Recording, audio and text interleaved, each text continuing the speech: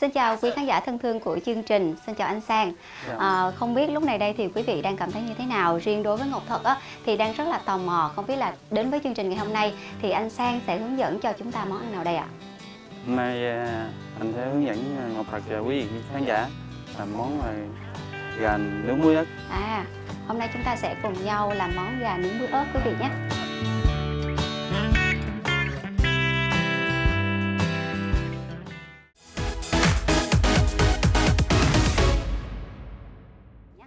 Rồi, đầu tiên thì à, để à, có thể thực hiện món ăn này chắc chắn là không thể nào mà chúng ta không chuẩn bị nguyên liệu gà đúng không anh? Nguyên liệu gà thì mình sẽ chọn gà khoảng 1 kg 6. Ừ. Dạ. À, Và chúng ta có ừ, lưu ý gì khi mà chúng ta chọn gà không? gà thì mình chọn mình sẽ nhìn cái gà tròn là gà sẽ mập, À, sẽ ngon hơn. dạ rồi. Bây giờ thì à, bắt đầu thực hiện đúng không ạ? Làm gà nướng ớt là mình sẽ có tỏi xay, Ừ. củ hành tím xay, À, ớt xay dạ. và bột ngọt, đường, bột súp cờ no và muối ớt đâm. Ừ. Rồi đầu tiên thì à, mình sẽ ướp gà đúng không anh? Đúng. Dạ. Anh sẽ hướng dẫn Ngọc Thật ướp gà. Rồi, đầu tiên mình sẽ bỏ vô tỏi xay, củ hành xay Dạ. và ớt. Ớt thì tùy theo độ mình ăn cay nhiều ít để mình bỏ. Ừ. Tức là tùy theo khẩu vị của mỗi người mà chúng ta có thể cho ớt nhiều hoặc là ít quý vị nhé. Sau đó mình sẽ bỏ một giá ăn canh muối ớt đâm. À, tiếp theo chúng ta sẽ cho muối ớt, Chúng ta bỏ cỡ hai muỗng cà phê đường, một ít đường, một ít bột ngọt.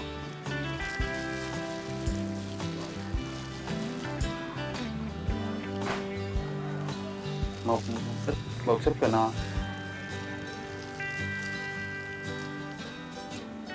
ở đây mình sẽ trộn đều hỗn hợp này lên Dạ. À, khi chúng ta trộn đó anh, thì chúng ta có có lưu ý gì không ạ? chúng ta trộn cho thật là đều để gia vị nó hòa tan À, chúng ta phải trộn đều các gia vị lại với nhau thì khi chúng ta ướp gà thì gà nó mới ngon được đúng không anh? khi trộn hỗn hợp gia vị đều chúng ta sẽ bắt đầu ướp gà Dạ.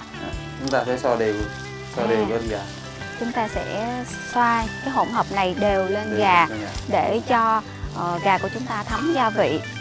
À, và thường á, thì mình ướp trong bao lâu anh? thường thì mình sẽ ướp gà trong vòng khoảng 15 20 phút là gà đã thấm Dạ. Và nhìn rất là hấp dẫn đúng không ạ? chúng ta so đều gà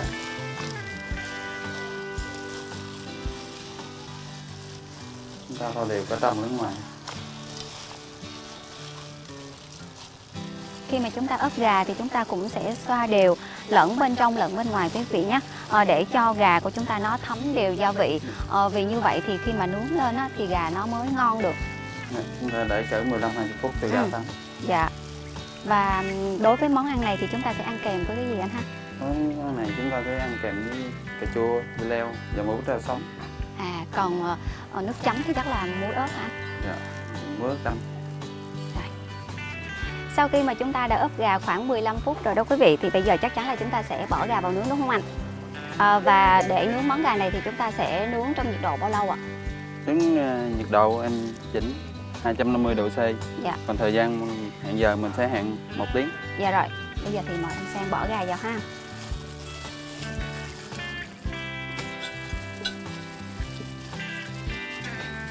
Dạ, Những hỗn hợp này mình sẽ chát lên thêm gà.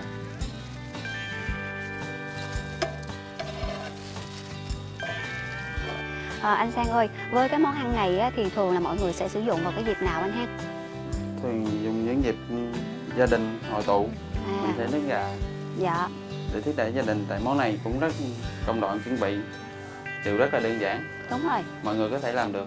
Ừ. À, và em nghĩ là cái món ăn này thì à, khá là đơn giản cũng như là cách thực hiện thì cũng ờ, dễ làm. Ờ, thời gian chế biến thì cũng không lâu. Ờ, do đó thì tin chắc rằng món ăn này sẽ được rất là nhiều gia đình lựa chọn vào những dịp mà chúng ta hội họp cuối tuần đúng không nè? Đúng rồi. Ờ, quý vị thân mến sau khi mà chúng ta nướng gà trong à, khoảng 60 phút thì gà của chúng ta Ngọc Thật thấy là đã chín rồi. Bởi vì ừm, trông nó rất là đẹp mắt. Ờ, một cái màu vàng thật là bắt mắt luôn. Thì anh Kiên là bây giờ chắc là mình sẽ tắt bếp đúng không ạ? Mình sẽ tắt bếp. Gà nó chín vàng đều. dạ trông rất là ngon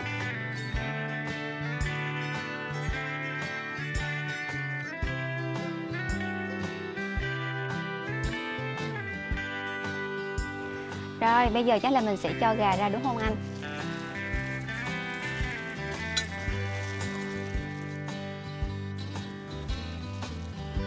Wow.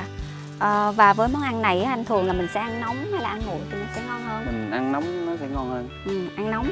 Vậy thì mình có thể ăn kèm với um, thêm những cái loại khác không ạ?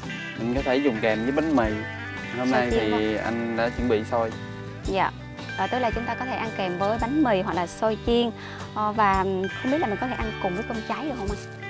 Ừ, món này ăn với cơm cháy rất là ngon À, à, vậy thì à, quý vị nhìn thấy rồi đó món ăn của chúng ta đã hoàn tất và trông rất là hấp dẫn cũng như là bắt mắt luôn. Thì Ngọc thuận suy nghĩ rằng là à, gà nướng thì là một cái món ăn quá đổi là quen thuộc rồi. À, tuy nhiên thì hôm nay với một chút biến tấu của chương trình thì hy vọng là đã mang đến cho quý vị một chút lạ miệng. Và chân thành cảm ơn quý vị đã theo dõi chương trình trong suốt thời gian vừa qua. À, còn ngay bây giờ thì một lần nữa xin được cảm ơn anh Sang à, cũng như là quý vị khán giả. Chúng ta sẽ cùng nhau hẹn gặp lại trong chương trình kỳ sau. Thân mến chào tạm biệt.